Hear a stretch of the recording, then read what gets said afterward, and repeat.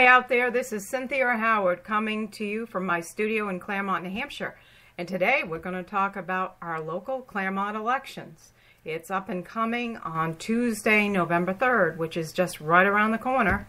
So there's some important information I'd like to get out to you before you cast that all important vote. Now, as you know, we have the highest property tax rate in the state of New Hampshire, second to New Jersey. It is currently at $41.33 per thousand. Now, we also have the second highest municipal city tax rate at $15.14 per thousand, which is second to Berlin.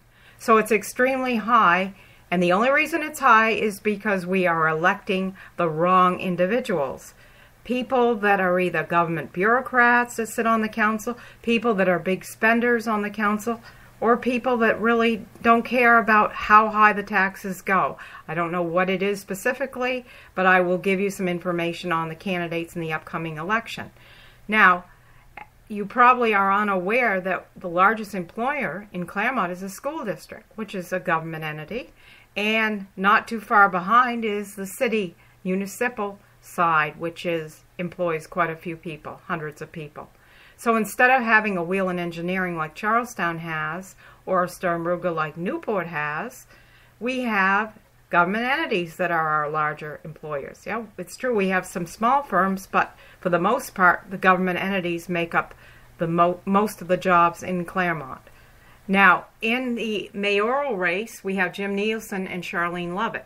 Jim Nielsen has been on the council far too long, and he's continuing to vote for more bigger spending, bigger government, higher taxes.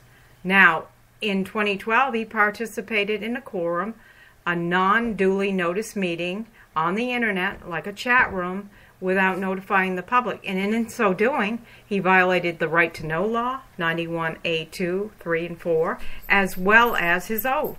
New Hampshire Part 1 Constitution, and it's Article 8. He violated that. So he shouldn't even be on the ballot. He shouldn't be even considering a run for office, but nevertheless he is. So I want you to be aware of that before you cast a vote. Charlene Lovett. Now, she is a big taxer and a big spender. She also is the person that proposed a partial smoking ban in your public parks. And she said it was because she was getting less and less people into the farmer's market that she runs but since she's instituted the smoking ban and they voted for it, it looks like they have less and less people in the farmers market. So that's counterproductive with all the other problems we got going on. Why are people concerned about taking our civil liberties away? But yet they are. So with the mayoral race, you do not have much of a choice, unfortunately. In the race for assistant mayor, you have Kyle Messier, who is a bureaucrat, and who participated in the non-public, non-duly notice meeting that occurred in 2012 with Jim Nielsen. So she violated her oath as well. But she did not step down off the council any more than Nielsen did. She stayed there, and people let her stay there. They didn't pursue it and take it to court. And so we have a person who violated their oath who is running on a ballot in a higher position and she should not be on the ballot. And also, she is a bureaucrat in that her position is funded as a dental hygienist by the government, originally by the state of New Hampshire, now by the county. Her dental clinic leases their space from the Claremont Development Authority, which is another conflict of interest, but as she would probably say, the money doesn't go directly to her, but it's in relation to her so she's going to vote for more spending, for bigger government. She's not going to vote for the taxpayers of Claremont. And she has a proven record against the taxpayers of Claremont. So she is one of the people we do not want any more than we do Jim Nielsen. And now another character that's running, who's been on the council quite a few years, is, a, is Victor Bergeron, a former firefighter. He's a retired firefighter. So he's going to vote, he's going to be biased and vote for more spending for the fire department he never recuses himself, and that should be a conflict of interest, but it's not in city charter, and the state doesn't think nothing of it, so he can run and he can vote for bigger spending and bigger government for the fire department.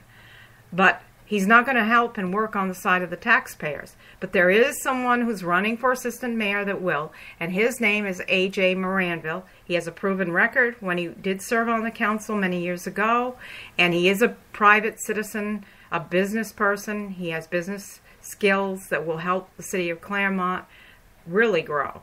He will make Claremont grow because he will know where to cut back, where to spend the dollar, and reduce the tax rate to help the taxpayers. He's not a bureaucrat. And that's what we want people that are in the private sector.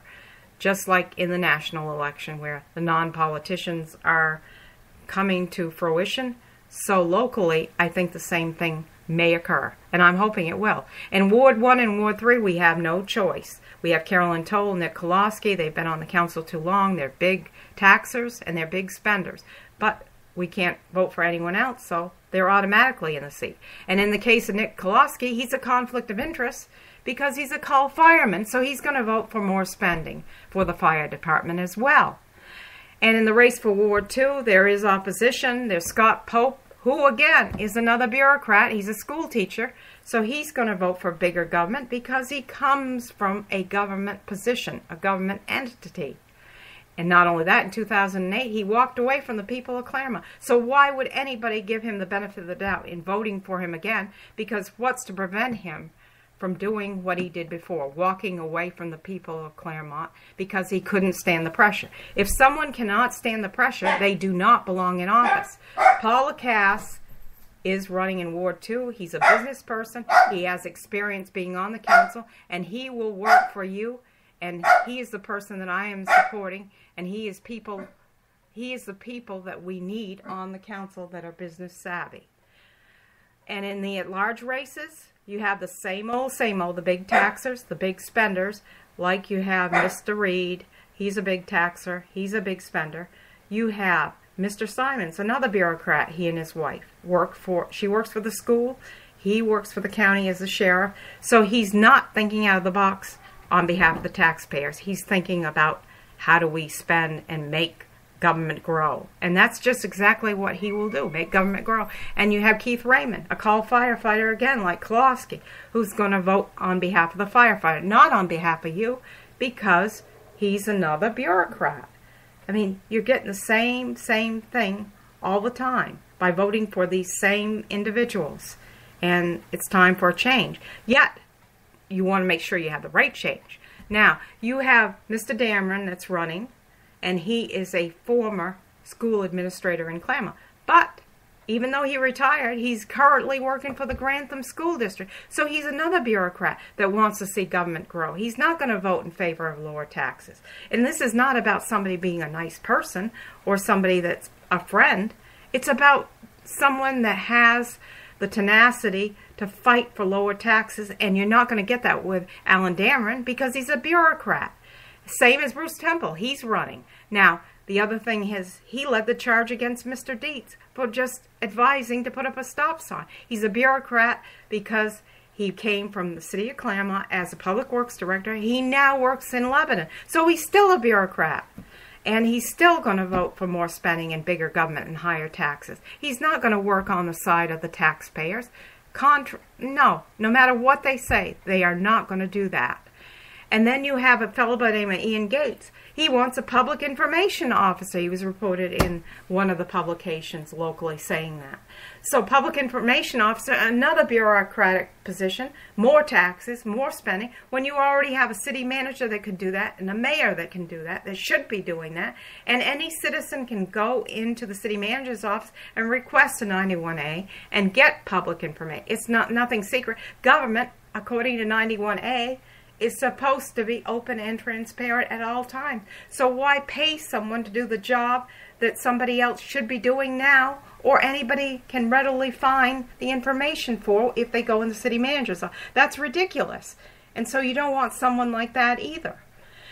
We have a gentleman by the name of Tom Lacasse who is a business person who has business business skills, who knows how to set budgets, who will fight for lower taxes, and he is running at large. So we would appreciate that you vote for him because he will fight for everyone in Claremont. He will fight for lower taxes because he comes from the private sector, just like A.J. Moranville does, just like Paul Lacasse does.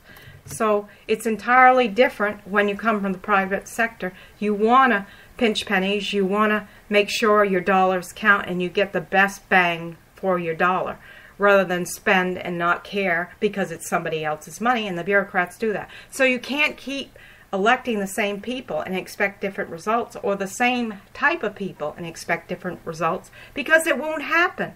So we're giving you a choice here.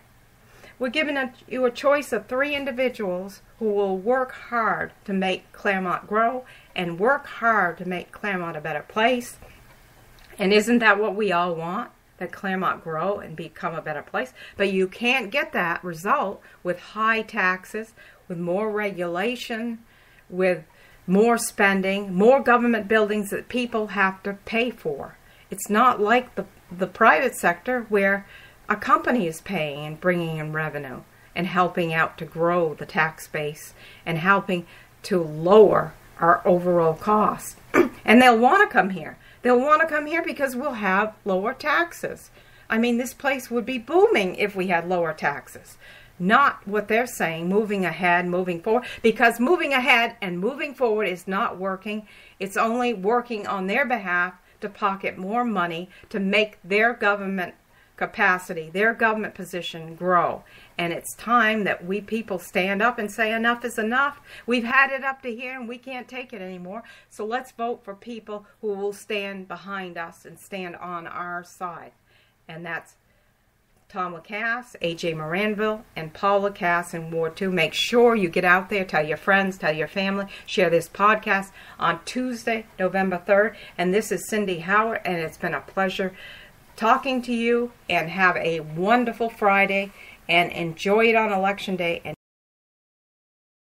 can vote because you have somebody to vote for. Thank you so much for listening and we will be having another podcast in not in the not so distant future. Thank you so much.